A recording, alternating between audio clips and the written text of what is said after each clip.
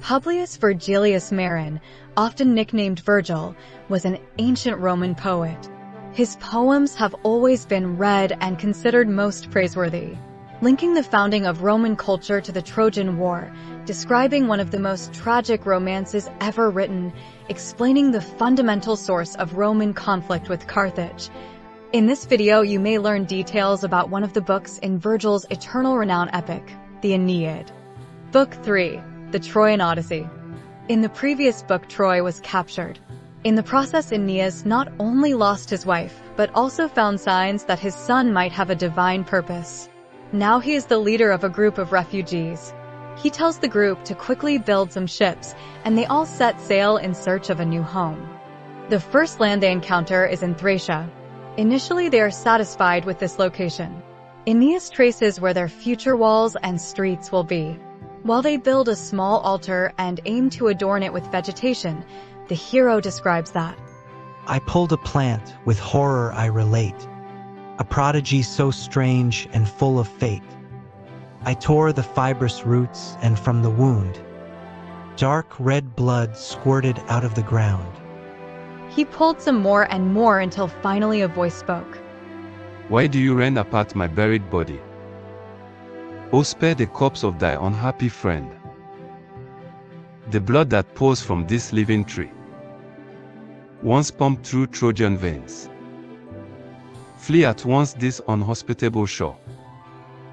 My fate is a warning, for I am Polydor. The poet explains that Polydor was the youngest child of Priam.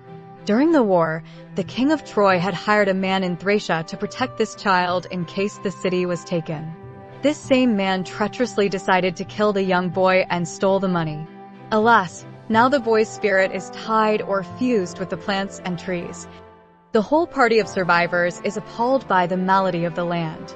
A land wherein the vegetation bleeds the blood of the Trojan prince. As a result, they perform an appropriate funeral for the child and vote to leave and attempt finding another location to make their new home. Subsequently, they arrive at the island of Delos. Later, in real history, this will be an Athenian possession. For a time, the island served as the center or capital of the defensive alliance against Persia. Either way, the poet has it that the island was already a sacred site. In this little island, the survivors find a priest. Aeneas asks for counsel or prophecy, and the oracle reveals. Undaunted youths, go your mother earth. The land where your ancestors were birthed be born again on the soil that was your cradle. Only there the fates would allow you to settle. Through the wide world the Aeneas house shall reign, and children's children shall the crown sustain. Alas, as most prophecies, the meaning or message is up for debate. The hero's father, Anchises, argues that the oracle must mean the island of Crete. The father explains that Crete was the Trojan original home and it, the island, is currently free of any tyrants. Therefore, they all sail for Crete and when they arrive, they begin settling a new city. They progress until the grass was parched and the corn was blighted. Invisible vapors choked the wholesome air. Bodies fell unconscious, cursed by the plague. Alas, the pandemic convinces them that they must continue their journey. Aeneas therefore returns to Delos and describes how Apollo, the god, spoke directly to him. The deity said, A land there is, Hesperia called of old. The soil is fruitful, and the natives bold. The Oenotrians held it once, by later fame. Now called Italia, from the leader's name. It turns out that Italia, not Crete allegedly, is the original home of the Trojans. When he is told, Aeneas' father admits his error as he says, Such things, and more, Cassandra foretold. I am reliving in my mind how she spoke. That Troy reborn in Italy would prosper. In Latin lands, but who then considered? Oh, whoever listened to her maddening lessons? The party sails again and, conflicted by a storm, they arrive on a Greek island. Herein they are tormented by a group of harpies. The poet describes the flying monsters and how these steal their food. It reminds me of what happens to Phineas and Jason and the Argonauts. Of course, on this channel you may also learn about Apollonius of Rhodes' epic poem. In this story, the Trojans try to fight the winged creatures to no avail until the Harpies' leader, a certain Celaeno, says, What? Not contented with our oxen slain? Dare you with heaven and impious war maintain? And drive the Harpies from their native reign? Surprisingly, it is the flying beasts that are offended. They see the humans as invaders trespassing on their territory. Therefore, the Harpies' leader warns that she will take eternal vengeance on the Trojan refugees. Although worried by the curse, the party once again sets sail. They pass by several Greek cities until they make harbor at a certain city named Chaonia. Herein, of all people, they find Andromache. This was the captive wife of Hector. It turns out that she has now gained her freedom. She explains to the refugees that at first, she was the forced concubine of Neoptolemus, Achilles' son. However, when he chose to marry a daughter of Helen, she herself married a fellow Trojan slave, a certain Helenus. And so, they lived in relative tranquility until Orestes killed Achilles' child. It will be remembered from Euripides' The Trojan Women that Orestes felt that Neoptolemus had stolen his wife. Either way, somehow, it is not clear to me. This death resulted in the slaves gaining their freedom and also, somehow, incredibly, they now rule over the city of Chaonia. I guess, perhaps, the death of the king left a power vacuum wherein Andromache was able to gain a piece of freedom for herself. Like I said, the poet is not very clear on the details. It is as if he assumes that everyone knows about how, let me call it social mobility, tends to happen. Indeed, as Adam Smith explains, in darker times inheritance is stressed, but in reality, the children of the wealthy have a tougher time remaining wealthy.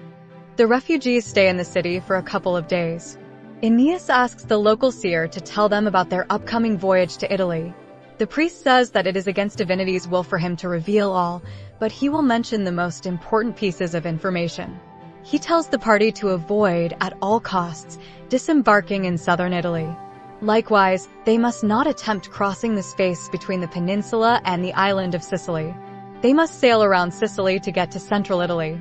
The reasons for this are, first, that southern Italy is filled with Greek cities that will be foes.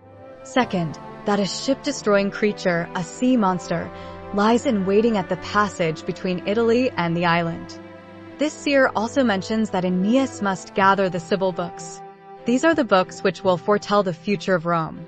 These books were a real historical tool of the Roman Senate, they were surely an invention as they were used only when panic seized the city and religion was needed to justify or validate an unpopular or seemingly dangerous course of action. According to Dionysius of Halicarnassus, the Sibyl books were gained during the tyrannical reign of Tarquinius. Back to the poem, in a moving scene, as the refugees depart, Andromache, the former wife of Hector, bestows many gifts upon the party. She says to Aeneas' son, Thou callest my lost Astyanax to mind. In thee his features and his form I find. This whets the eyes of anyone who remembers Euripides' play. As they sail, there is a description of the night sky and the various constellations. As the sun rises, the poet sings. It was when the rising morn with rosy light adorns the skies and puts the stars to flight when we from far like bluish mists descry the hills and then the plains of Italy. They make a stop on a Sicilian shore where they make various offerings to the gods. It is said that certain signs indicate the land is caught in an arduous war. I should note that the religious rituals were as the priest in Andromache's city ordered. These are, I am guessing, the same rituals that the Romans ever continued until Christianity's invasion. Sailing once more, the Trojans arrive at the channel between Italy and Sicily. Herein they encounter the ship-destroying monster, Charybdis, and, avoiding it, continue to make their way around the island.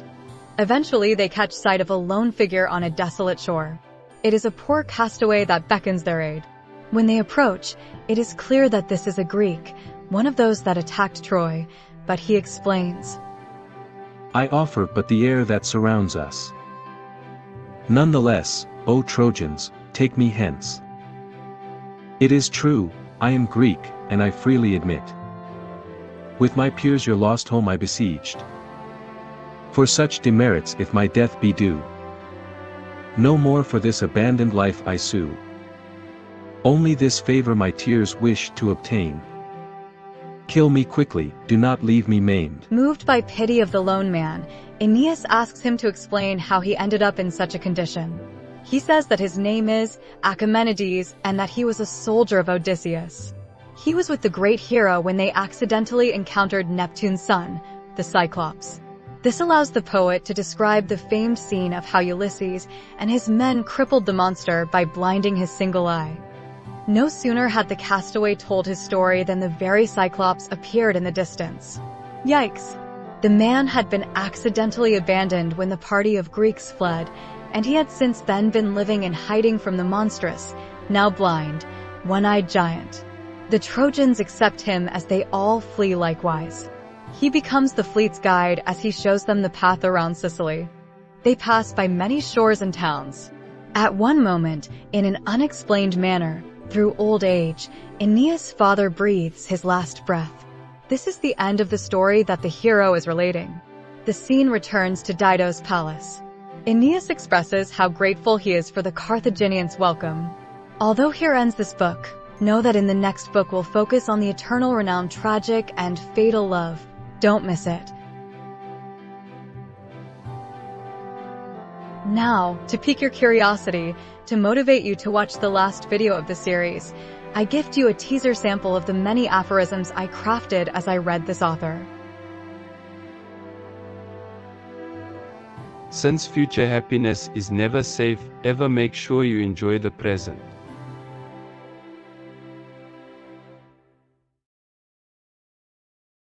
If you enjoy or gain from my aphorisms, know that I have thousands.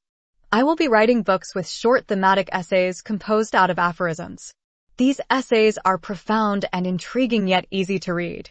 For very cheap copies, look up Protagoras Pause in the Amazon website. I repeat, Protagoras Pause, that's my name.